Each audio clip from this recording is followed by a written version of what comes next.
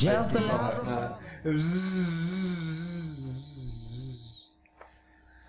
tere tulemast, Backlit keyboard. tere tulemast, Tehnovaade seitsekümmend üks algab. mina olen Heigo, mina olen Marko tema on Marko. ja palume vabandust alustuseks kohe, et me nii kaua oleme ära olnud, aga me oleme tagasi. ma loodan, et ei kurvasta, ma loodan, et te veetsite äh, palju rõõmsat aega lume ja kõige muuga võideldes ja nüüd on lõpuks kevad käes.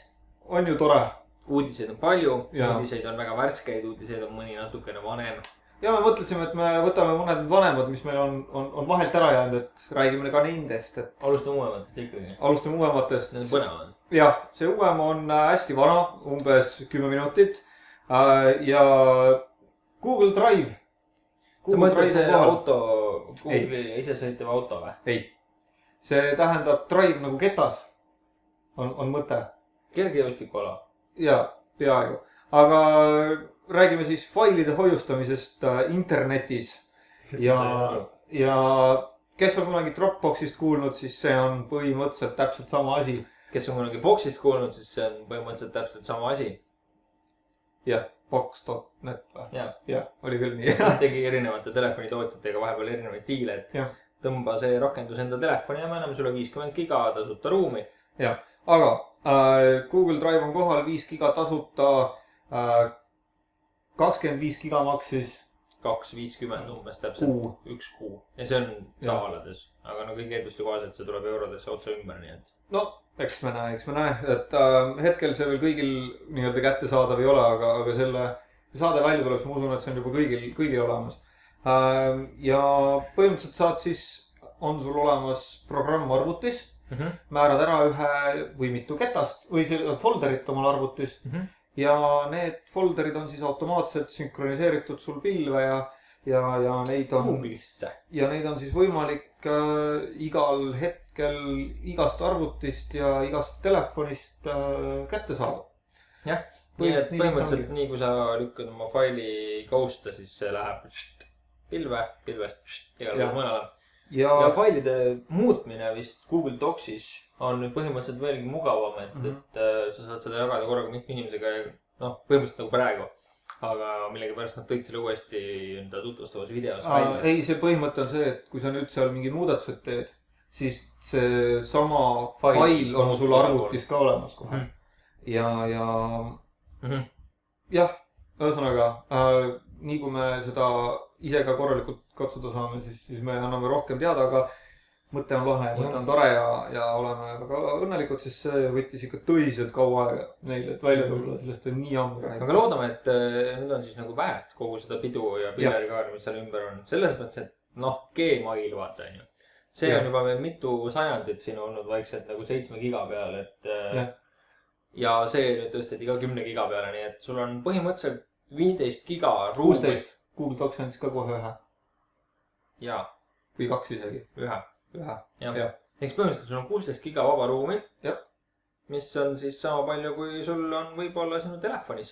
mina olen Gmaili kasutanud päris varakult, kui minu arust ta tuli siis, kui tal, ma sain vist kutsega isegi alguses selle, siis kui alguses oli mingi viissada mega või seitsesada mega Jaa.. aga ma ei ole sealt, ma olen see, nii kui ma selle sain, siis ma olen äh, nagu eksklusiivselt kasutanud Gmaili Mm -hmm. äh, päris mitu aastat, eks. päris vägev sõna oli sul siin vahepeal. on ju, ja palju sul oli täis, mingisugune kakskümmend protsenti või? no kohe vaatab üle. annab lõppu scroll ida sul. oi, mul on kakskümmend üks protsenti kasutatud. Kuule ära nüüd laia. ma kohe vaatan. no, no nüüd meil läks siin omavaheliseks võistluseks, nagu meil ikka läheb, et kellel on ägedam ja kellel on võimsam. ja põhimõtteliselt no ma, ma jään napilt alla, mul on üheksateist. jess. aga see tähendab puhtalt seda, et ma lihtsalt tean, mida ma hoian seal. mul ei tule mingisugused, ma ei tea, cherry pakkumised. Sorry, aga mul ei ole väga mõtet nagu kokku ka hoida, ütleme ausalt. jah, seitsme aasta pärast hakkad võib-olla mõnda faili kustutama. ja, ja tore on siis jah see, et kümme gigabaiti nüüd. Jah. äh,. räägime veel gigadest. räägime tulevikust. räägime tulevikust, räägime kolmandast maist. on tore päev, mil üks, üks vist kõige populaarsemaid Android telefone üldse Jah. saab omale järgmise suure venna või väikse venna või, või kuidas nimetada ma. arvan, et mõõtudelt Pi- tuleb ta pigem suurem. pigem suurem, ekraani osa pealt vähemalt suurem. ja, ekraani resolutsiooni koha pealt kindlasti suurem. ja, aku mahutavuse koha pealt kindlasti suurem, suurem. protsessoris on rohkem mahtu, ja rohkem tuumasid jah. ja, ja, ja, ja kaamera seal taga on arvatavasti ka vähemalt kaheksane, kui mitte kümnene või kaheteistkümnene või kuueteistkümnene, sest noh, HTC-del on ka selline telefon olemas, mis on kuusteist pikslit, megapikslit suure resoga. ja mis me, millest me räägime, on siis Galaxy S3.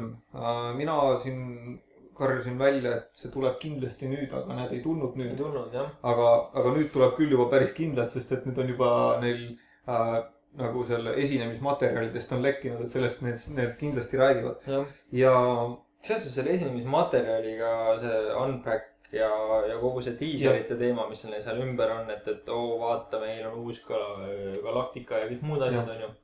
Siis äh, noh, nad tegid sellega seal natukene niimoodi nalja, nagu nad ikka teevad, onju.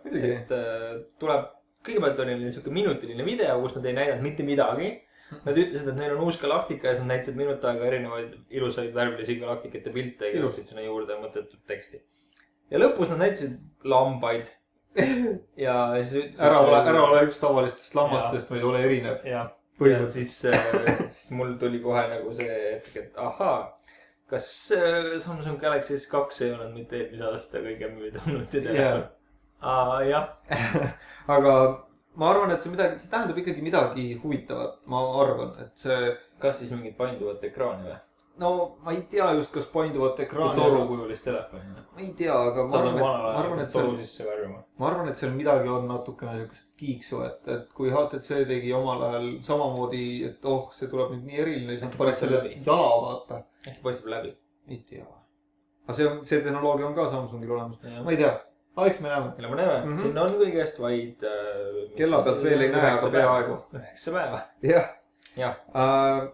me oleme siin vahepeal, me ei ole niisama ka istunud, ütleme ausalt, me oleme tegelikult ikka siin äh, töötajad. töötanud ja, ja telefone ja arvuteid ja, ja- ja igasuguseid asju katsunud. ja esimeseks selleks asjaks oli meil HTC Titan, see on nii suure ekraaniga see telefon. on natuke kõvasti väiksema ekraaniga telefon. aga no no, see on nii suure.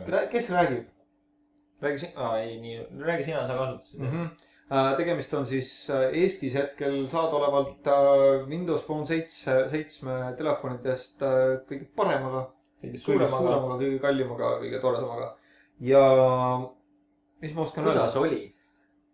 Kõige olulisem küsimus, kas sa ostaksid selle endale? ei, kas sa ostaksid selle endale siis, kui sa vihkaksid Androidi, sa vihkaksid iOS-i, veeboss on surnud ja Nokia sulle lihtsalt ei meeldi, kas sa siis ostaksid seda telefoni?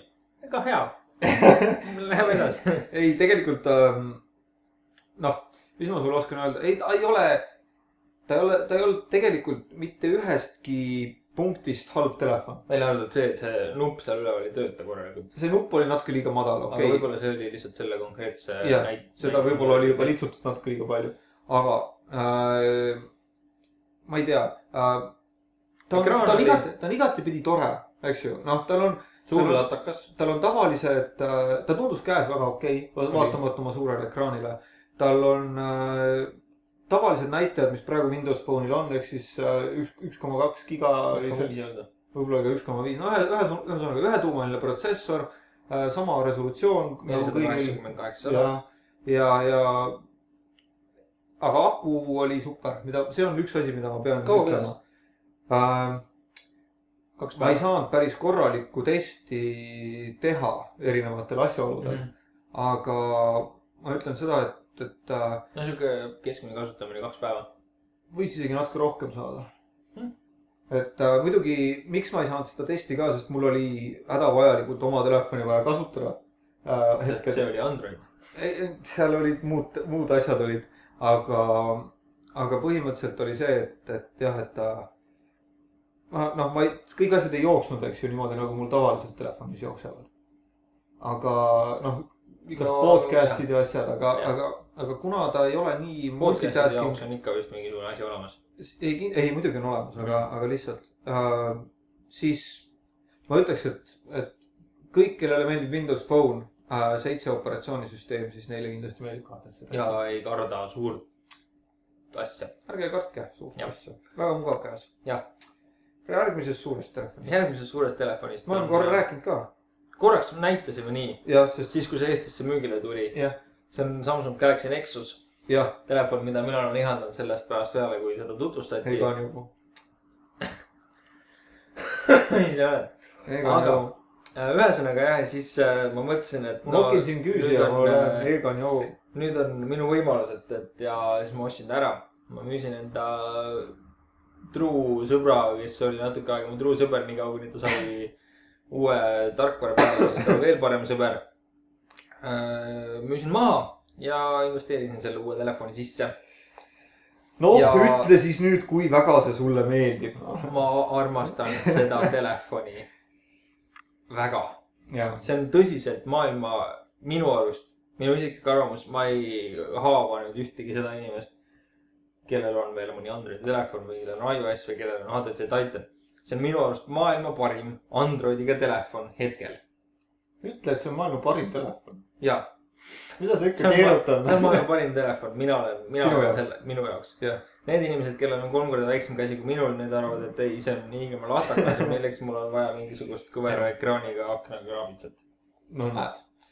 aga. ma ei ole kasutanud veel HTC One X-i, ma ei saa öelda, et see on sellest. ja One S-i, ja One S-i, millest ma kuulen väga-väga häid asju. sellest räägitakse liiga palju häid asju. ma loodan, et see Samsa, Samsungi siis Galaxy S3 on äh, äh, täpselt samasugune nagu see, et siis ma nagu ei muretse, et ma nüüd äh, olen ajast maha jäänud, et see võiks täpselt Oled. samasugune välja näha. ära muretse, küll sa oled. ma, ära muretse. järgmine teema, küll, küll läheb üle sellest me ei räägi enam. ja äh,. aga ühesõnaga ja see on hullult äh, me peame tänama ka väga ühte, ühte toredat firmat ja selle toreda firma nimeks on Logitech. Logitech Sest, on väga äh, tore firma. kui te võib-olla juba olete ka aru saanud, siis äh, pilt on natuke teine ja, ja ilmselt heli on natuke teine ja vahepeal ei viska rohelist ekraani ette ja, ja, ja. see on kõik sellest, et meil on nüüd parem laevalgustus ei, ja ruum on surround sound'i kindel. ei, tegelikult ei ole. ei ole äh,. tänase saate siis on teieni toonud äh, Logitech äh, ja, ja Logitechi Pro kaamera- HD. vabandust, ma ei sega vahele enam. Pro webcam C üheksasada kakskümmend äh, ja HD. hea HD ja, ja räägiks korra kaamerast, et see on ka üks asi, mida me jah, et mida me katsetanud oleme. Kuidas siis tundub, minu arust oli, minu esimene mulje oli see, et võttis karbist välja, vau, veeb, veeb, veebikaamera kohta hullult raske. ja, see oli esimene tu- ja mulje. järgmine asi, mis sa vaatasid sealt all oli, vau, seal on statiivi kinnitus. jah, meie jaoks kõige geniaalsem asi Jah. üldse, statiivi kinnitus veebikaameral. jah, ja See siis on sa nagu- panid selle tööle ja siis avastasid, oo, see salvestab stereoheli. ja, ja siis vaatasid, oo näe, ilus full HD. ja, ja siis kuuskümmend on, raami või kolmkümmend raami sekundis. ja, ja siis nüüd ongi see pilt, mida te siin näete ja kuulete ja nii ongi. ja nii ongi. Karl Zeitsi opikaja, no näed, pole paha. suur tänu Logitechile, jätkame. jätkame uh,. mis sul süles on? noh, minul on süles, kui te niimoodi kaugelt võite korraks vaadata, siis üks äh, hiiglama õhuke äh, sülearvuti. see on, see on HP Folio kolmteist. Folio kolmteist, mis on äh, nii õhuke. täitsa tore see. on ikka nagu no,. vaataks, kas me saame siia korra, paneks korra siia pane Mac, küljed vastu. Mac kõrvale. no ega, ega ei ole eriti palju paksem, kergem on kõvasti. kergem on ta kõvasti ei, ta on lühem. ja, jah, ja, ja esmamulje, mis, mis minul on, ma olen nüüd seda kasutanud siin umbes täpselt mingisugune nelikümmend minutit. Täiesti müstiliselt kiire. SSD ketas on sees, noh, see on loogiline, siia ei mahu tavalist ketast sisse. on kerge, hoolimata sellest, et ta on siukene õhukene, on ta väga sihuke kuidagi, ma ei tea, stabiilne, ta ei paindu mitte mingit pidi, isegi mitte nagu ekraan ei paindu. mul oli siin just kogemus, oli Asuse, see on siis see ultrabookide kategooria nii-öelda Windowsi vastet sellele MacBook Airile, eks ju, on, on see kategooria, millest me räägime, ehk siis kiired protsessorid, kiired kettad ja, ja toredad arvutid, natuke kallimad kui, kui Mac tavalised ei ole. see ei ole jah. ja, ja aga, aga jah, ühesõnaga see üks teine, see, mis ma kasutasin, see oli siis Asuse ZenBook. ja see oli õhem ja kergem natukene kui see, aga tunduvalt ikkagi nagu noh, Nobli. jah, et, et see oli esimene asi, mis kätte võtsid, ongi, et no okei okay,, siin on kõik, see on üks tükk ainult Mhm. nagu. kuigi ei ole, ta ei ole isegi metallist, ZenBook on pealt metallist ja niimoodi. Aga see ei see ole on isegi- mingi alumiiniumiasi ikkagi. see on, aga alt on plastik. alt on plastik jah. et, et äh, võiks ju arvata, et on nagu kehvem, aga ei, ei. väga, väga lahe, aga sellest siis juba sellest blogist me. räägime pikemalt jah. Jah. jah, et ärge veel selle pildi järgi, mis te siit näete, niimoodi kohe poodi ostma tõtake. on paar asja paar. asja on, mis on. Jah. ja miks, miks sai ka see ZenBook valitud, paar asja on, aga on ka väga palju häid asju Jah.. jess, aga nendest pikemalt. täpselt nii. üks telefon, mis on Eestis müügil täiesti äh, ja mis peaaegu oleks, oleks Heigo uueks telefoniks saanud, aga tal tuli mõistus koju. ja see No on see- siis äh, Sony Xperia S ja, ja täitsa nelisada kuuskümmend euri ja on Elisas ja nelisada üheksakümmend üheksa on olemas seal, seal äh, EMT-s ja üks koma viis gigahertsi dual core, neli koma kolm tolli, seitsesada kakskümmend B ekraan ja tuhande seitsmesaja milliamprine aku ja siis on kolmkümmend kaks giga mälu ja kaksteist megapikslit kaamerat ja Sony CMOS sensor ja ühesõnaga igatepidi parem kui see, kui sa numbreid loed, ei ole, ei ole. ekraan on väiksem ja, ja kõige halvem asi on see tema operatsioonisüsteemi number, mis algab kahega. Nagu, mis mõttes sa tuled praegu välja uue telefoniga, mis on igatepidi püss, mis on igatepidi ilus, mis on igatepidi väga hea. ja siis sa paned sinna peale gingerbread'i, et oo oh,, ma ei tea, äkki ma kunagi panen sinna ice cream sandwich'i peale. no teate see, on, selliste asjadega minu juurde, kui sa tuled praegu, et oh, mul on siin täiega äge telefon, aga sellel on eelmise põlvkonna tarkvara peal. nägemist. Head aega. taha, ei taha katsuda, LG on mulle selle lihtsalt nii selgeks teinud, et kui tal on vana tarkvara peal, vahet ei ole, LG võib olla jumala ilusaid telefone teha. väga head telefonid on, modellid on kenad, kes neid demovad ja kõike muud juttu.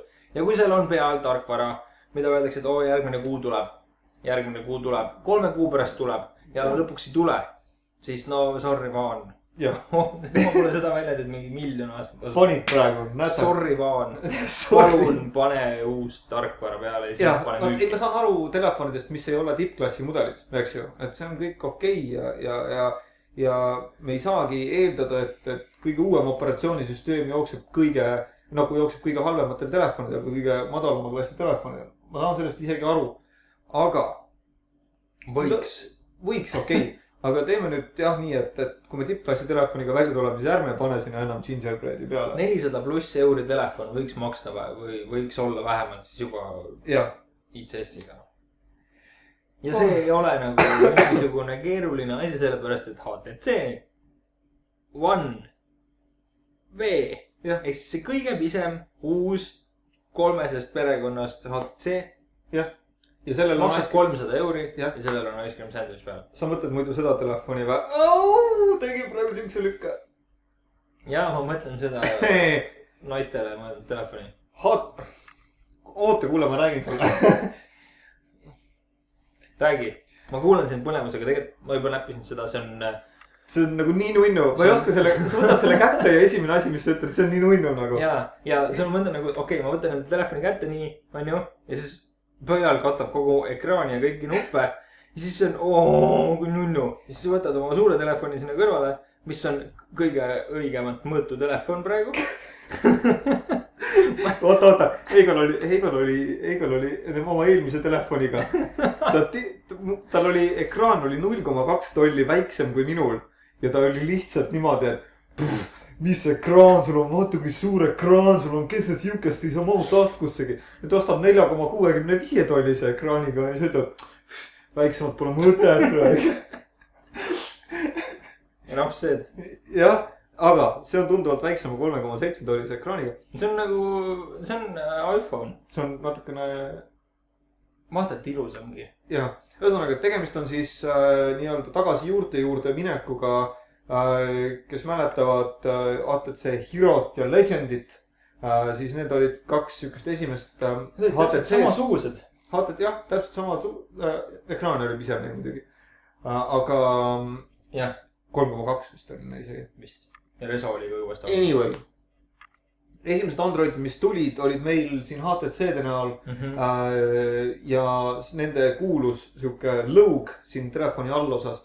See on nüüd tagasi, aga märksa paremas, paremas keskkonnas. Android neli punkt null jookseb siin peal, nimelt resolutsioon on sama, mis minul nelja koma kahe tollisel ekraanil. Mhm. meil on ühe koma, mitme gigahertsine see protsessor nüüd oli? sellel või? jah, ühene vist ongi. vist oli ühene. vabandust, palju on asju. võta siit äh, alt. ühe. gigahertsine protsessor, tuhande viiesaja milliamprine aku äh,. see oli kunagi ikka nagu hirmus suur aku. jah, aga minul on tuhat kakssada kolmkümmend oma kolme koma kahesel või nelja koma kahesel tollisel. nii et ma eeldan, et see peab ikka ilusti sihuke kaks pool päeva rahulikult vastu sellise ekraaniga. no oleneb, mida te teete muidugi. Jah. ja, ja, ja see on nii, ja see on eestikeelse jah, menüüga. ja muidugi Sense neli punkt null on samamoodi on siin peal. ja, ja kõikidele nendele inimestele, kes on äh, tüdinud sellest, et kui nad üritavad enda HTC sisse ja lükkavad selle pallikese ülesse, siis käib mingi virvarr ja mingi Marko mõttetu võib jura. demonstreerida. see mõttetu jura käib, see ei meeldi mitte kellelegi, see võtab aega mingi kolm minutit, kui sa sealt eest ära keerutada. ja siis sellel ei ole seda enam. sa teed nii ja lükkad selle üles ja valmis. ühesõnaga, see on, see on äh, nagu sihuke, sihuke lisa või muud, muudatus, mis meeldib Heigole kõige rohkem, et see või selle Sen- Sense nelja punkt nulli juures. on nii jah? ja, see kakskümmend viis gigabaiti tasuta Dropboxi ei huvita sind ja, ja, ja see, et ta no ma ei tea, Google. eestikeelne ja mind ei huvita eesti keel mitte. midagi ei huvita, selge. kas ta on üleni eestikeelne, sellepärast et minu vana LG oli võimalik ka eestikeelseks panna, aga pool menüüd oli ikka inglise keeles. seaded, lennurežiim, wifi, Bluetooth, isikupärasta, kontod, sünkroniseerimine suhteliselt eestikeelne tundub olevat. ja, vägev. mm. -hmm. loodan, et avamenüüd on ka eestikeelsed. ei, sa ei pea kontrollima, Pean sa niikuinii kirjutad sellest review. kirjutan küll, aga ma pean, mida sa,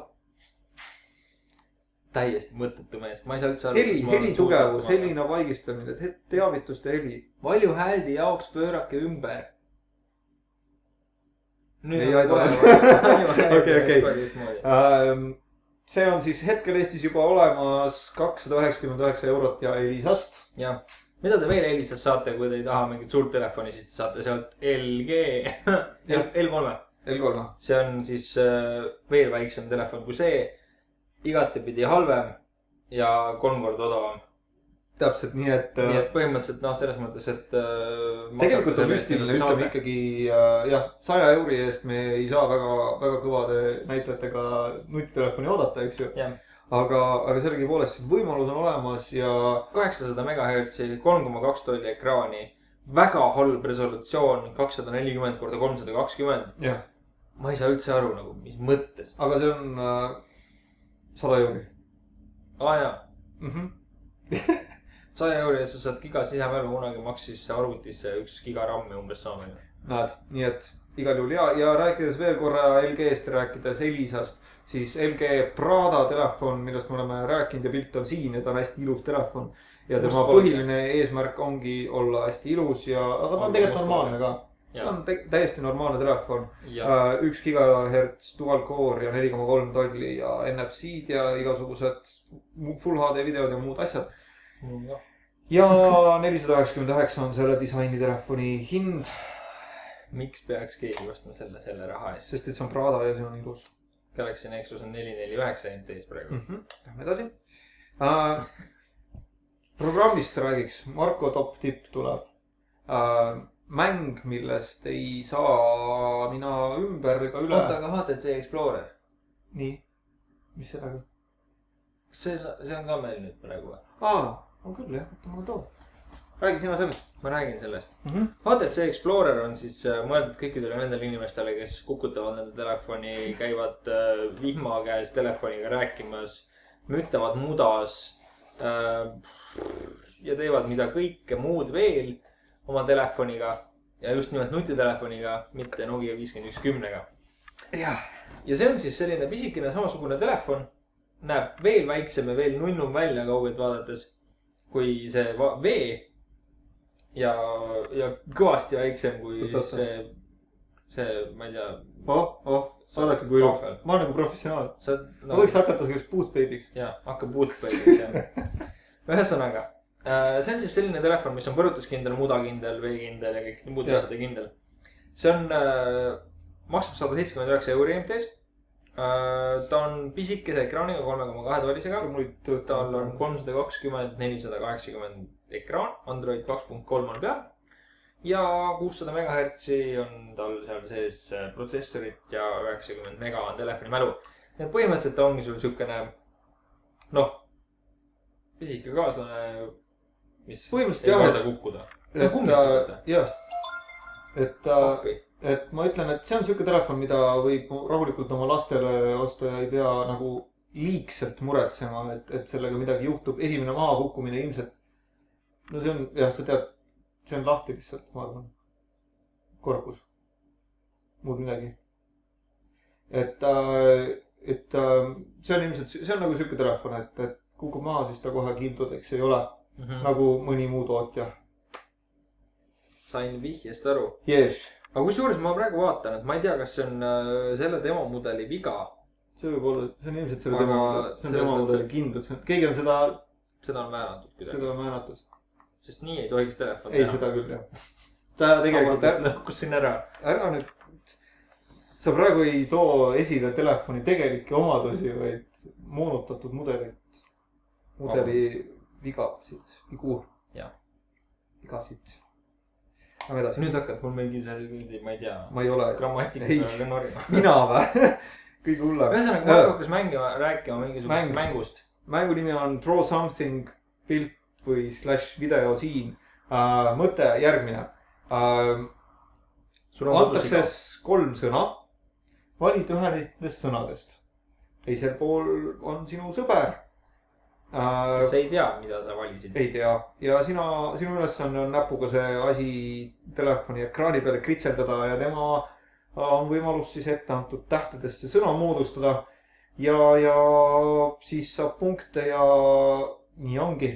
aga mängu mõte on äärmiselt lihtne, aga, aga ta on väga, väga kihvt ja eriti kui sul on sõbrad, kes nad nagu nalja ka mõistavad, eks ju, siis saab sinna väga huvitavaid asju joonistada ja, ja, ja tükk aega Markoga, nuputamist Markoga on seda tore mängida. on jah, ja, aitäh, sinuga on ka tore mängida mul on rõõm kuulda. Hmm? siis, kui sa ühe korra ei vastanud mulle, siis mingisugune päev otsa vist, siis ma. päev otsa ei joonistanud sulle midagi või?, siis ma tegin mingisugune oma iPad'i peal tegin mingisugune kakskümmend erinevat mängu täiesti suvaliste inimestega ja siis joonistasin neile igasuguseid asju. Nad olid väga rõõmsad kõik. väga tore. pooled kirjutasid loll ja teised kirjutasid rohvl ja muid, muid asju, millest eestilased ei saa aru. ahah, jah. Aga tead, mis selle mängu puhul veel oli väga äge või? seda mõtlesid välja mingisugused suvalised inimesed. ja siis see Siga vaatas, et see on jumala okei okay.. ja see see oli ka. on, see on jumala okei okay mäng. aga Seda- miks ei ole meie mäng igal pool top ühes? Üheks. ja siis nad nad, ostsid selle ära mingi saja kaheksa miljoni dollariga või? jah, tuletame meelde, et äh, mängu, mäng loodi kahe inimese poolt ja hetkel oli tiimis neli inimest minu arust, kui ma ei eksi. nelisada miljonit dollarit jagatud neljaga ei ole kõige halvem tehing. jah, selle eest, et sa mõtlesid välja mängu, Mängu. joonistasid sõbrale kriips ja tema peab ära arvama, et see on lain. jah, aga see On- mäng on inglisekeelne kahjuks. jah, aga väga kihvt ja, ja ta tõesti on kirjeldades äärmiselt nagu sihuke labane, aga, aga mängida, mängida Kaasav on hoopis mi- midagi muud. Ja veel üks programm, mis on laineid löönud ja mis ka osteti ära, umbes kümme korda kallimalt. on Instagram. Instagram ei ole mitte midagi muud kui piltide jagamisplatvorm ehk siis teed telefoniga pildi, paned sinna hipsteri filtri paned peale, teed ta nägema välja viisteist aastat vanema iPhone'i ja inimesed viskasid sind praegu midagi, kindlasti rikkusid oma ekraani. ja paras neile. ai, nii ei. kui sellise asja peale mind visata, siis on paneme äh, sinna piiksu. piiks uh,. ma pidin sample'i tegema, vaata Jah. uh,. aga jah, et uh, saad teha pildi, teha ta lahedamaks nii või siis tõsiselt lahedamaks, sest et telefoniga alati kõige parem pilt ei tule või meil lihtsalt kunstiannet napib siis äh, saab selle teha natukene kunstipärasemaks ja selle üles laadida ja siis sealt omakorda võib see minna Facebooki ja Twitterisse ja, ja, Tumblrisse ja mujale, mujale jah Jah. äh,. IPhone'i peal on see iPhone'i peal on see ammu olnud. nüüd tuli Androidi peale. värk, et, et äh, kõik iPhone'i inimesed kasutasid seda ja jagasid sellega oma pilte, kõik olid, oo, tal on iPhone, me teame, et tal on iPhone, ta on nii äge, et ta Jah. saab sellist pilti teha. Nendele inimestele, kellel olid Androidid, need kasutasid siukest lahedat programmi nagu Pixelromatic, jah, mis tegi põhimõtteliselt sama asja ja pani filtri peale. aga ta ei olnud nii lahe kui Instagram, sest Instagram oli kuulsustel, kuulsustel kasutatav.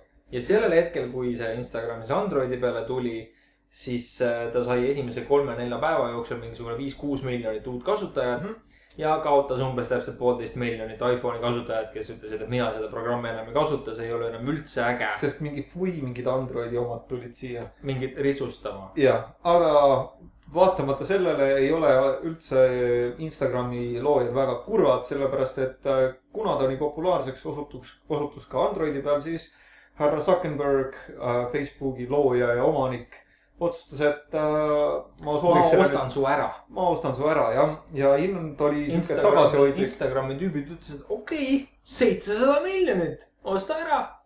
Zuckerberg ütles, oled mõistlik, ma, mulle, mulle meeldivad ühtedega algavad numbrid, miljard. mm. -hmm. Täpselt nii ongi miljard dollarit äh, on selle tehingu maksumus, ma ei saa aru sellest. okei okay., palju Skype maksis, kui Windows ära ostis? Kaheksa miljardit või? oli, oli nii palju või? aa, oli jah, oli küll. see oli ka aga palju. kui me räägime ikkagi nagu Ei, Skype'ist, mis on ülemaailmne värk, millega sa nüüd Skype, jah, Skype ja, ja võta, võta piltide tegemisprogramm, siis noh, see on filterdamise programm tegelikult. filterdamise programm, nii et noh, tegelikult natukene vahe nagu minu Shoot jaoks on. filter share on see asi ehk siis äh,. aa ja väike tore fakt oli sellega, et äh, kuna Zuckerberg omab Facebookist viiskümmend üks protsenti, siis ta isegi ei läbi rääkinud mitte kellegiga, ta lihtsalt läks ja ostis selle ära. ta ütles, et te niikuinii midagi öelda ei saa, vaata. ma arvan, et ta ostis endale hiljuti Galaxy Nexuse. Vahetas ta läks meeldima ja vahetas iPhone'i välja, ostis selle ja siis mõtles, et okei okay,, ma pean ka selle saama seepeale. mõeldud tehtud. mõeldud tehtud tead, kui meeldiv oli siin jälle taas kord olla oli. uh,. täname kõiki vaatamast ja, ja täname taas kord Logitechi ja Google Drive'ist rääkisime juba. me Google Drive'ist rääkisime kõige alguses. aa meil on nii pikk saade olnud, et sa ei mäleta It's been a while. ja Jaa. palju õnne kõigile, kes vastu pidasid ja ma ei tea, auhinda meil seekord veel anda ei ole, ei ole, aga me saame ka varsti kaheaastaseks ja siis. siis vaatame. Jah. tuleb vist juhtuma hakkab elame-näeme mm. -hmm. mm. -hmm. tšau. head nägemist.